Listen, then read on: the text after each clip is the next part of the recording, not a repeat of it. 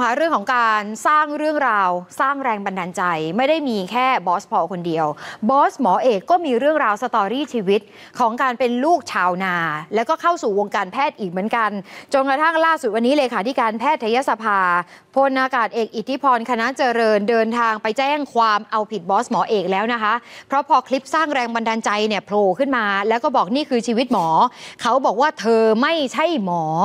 เธอจบเทคนิคการแพทย์ แล้วก็ใบทะเบียนเนี่ยขาดไป 2 ปีแล้ว แล้วก็เมื่อวานอมรินทร์ทีวีเจอข้อมูลใช่ไหมจบด็อกเตอร์เป็นมหาวิทยาลัยแบบจ่ายแล้วจบอะหมื่นเจ็ดคุณผู้ชมคะที่เราใช้คำเรียกกันว่า มหาวิทยาลัยห้องแถว วันนี้แพทยสภาก็เลยมาแจ้งความดำเนินการเอาผิดกับบุคคลดังกล่าว เขาบอกว่าอะไรรู้ไหมไปเกมตรงไหนรู้ไหมคะ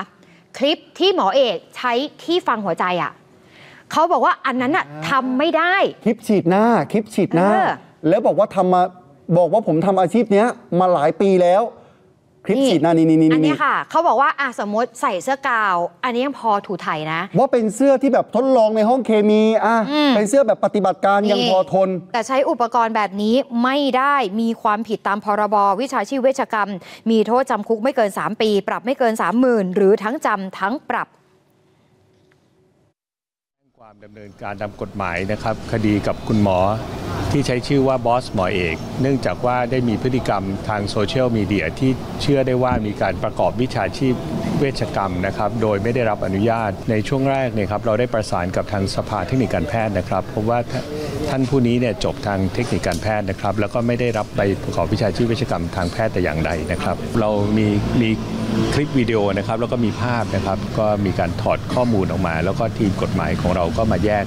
ออกมาว่าเข้าคล้ายกับการประกอบวิชาชีพเวชกรรม จึงมาแจ้งความดำเนินคดีไว้ก่อนครับ การที่ไป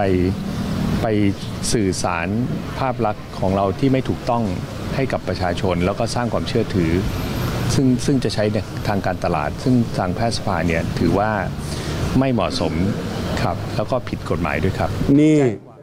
วันนี้ไปเอาผิดแล้วนะฮะ แต่บอสพอถามบอสพอแหละ รู้ไหมบอสหมอเอกเนี่ยเขาไม่ใช่หมอนะ บอสพอตอบฮะบอกว่ารู้ตั้งแต่แรกแล้ว ว่าหมอเอกจบเทคนิคการแพทย์ไม่ใช่หมอจริง ๆ แต่จะให้พูดว่ายังไง จะให้ผมเรียกเขาว่าเทคนิคการแพทย์เอกเหรอ มันยาว อัปเดต 34 HD App เวอร์ชันใหม่ รางวัลใหญ่รออยู่นะคะ